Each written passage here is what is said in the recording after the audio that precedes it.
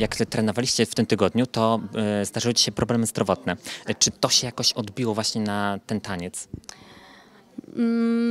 Czasu zabrakło. Myślę, że te, problem, te problemy jeszcze bardziej e, zmotywowały nas i sprawiły, że czas, który mieliśmy, wykorzystaliśmy jeszcze bardziej efektywnie. Po prostu e, mniej może było gadania, śmiania się, tylko zrobiona robota, ale myślę, że to samo, co zrobilibyśmy po prostu w, w te 5 dni czy 6, zrobiliśmy w 3.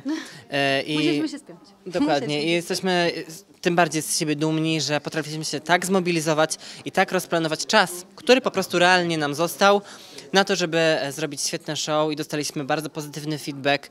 E, także cieszymy się i e, wszystkie kłody i problemy traktujemy raczej mobilizująco, żeby nas to jeszcze pchało do przodu i dawało kopniaka do pracy, aniżeli jako jakąś taką rozpacz. E, Kolejny cios przyszedł z niespodziewanej strony też, Roxana, w tym tygodniu, bo e, twój były management wydał oświadczenie na temat zerwania współpracy między wami, zakończenia współpracy między wami. Czy to też jakoś wpłynęło na twój taniec pod względem jakimś takim psychicznym? Nie, myślę, że nie, bo szczerze mówiąc, e, ta sytuacja była dla mnie szokująca pod względem tego, że to się odbyło publicznie.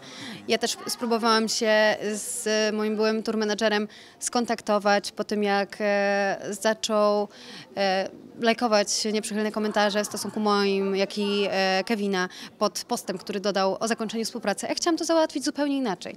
Ja z chłopakami ze składu węgla, z cudownymi ludźmi, świetnymi muzykami, tak naprawdę ja z nimi mam czystą kartę. Ja z nimi się rozstałam pod względem grania koncertów już miesiąc temu. Powiedziałam im, że mam teraz trochę inną wizję na siebie, chcę nowej energii i chcę coś po prostu zmienić, zagrać e, trasę klubową.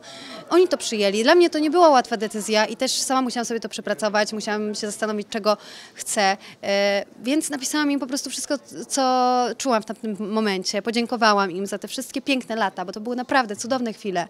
Ja tego w życiu nie, nie wymarzę z pamięci. Dlatego oni to przyjęli też bardzo dobrze. E, Wiadomo, każdemu było przykro, ale e, wszyscy pożyczyli mi powodzenia w dalszej karierze, napisali, że trzymają kciuki, no ale niestety jedna osoba, Mateusz, zachował się bardzo nie w porządku.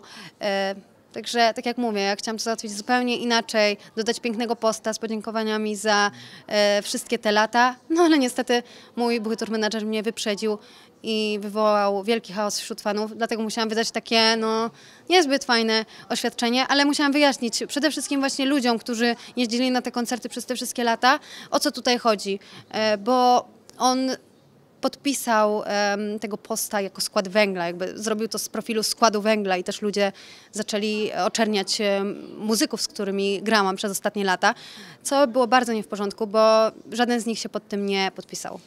Dlatego tutaj, no, wielki zawód.